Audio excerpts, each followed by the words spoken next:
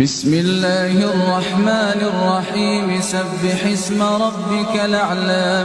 الذي خلق فسوى. والذي قدر فهدى. والذي أخرج المرعى فجعله غثاء نحوا سنقرئك فلا تنسى إلا شاء الله. إنه يعلم الجهر وما يخفى. ونيسرك لليسرى فذكر النفعة الذكرى.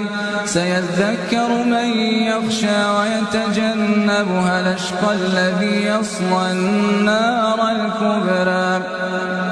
ثم لا يموت فيها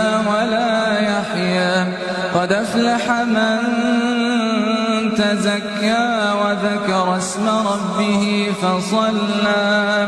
بل توثرون الحياة الدنيا والآخرة خير وأبقى. إن هذا لفي الصحف الأولى. صحف إبراهيم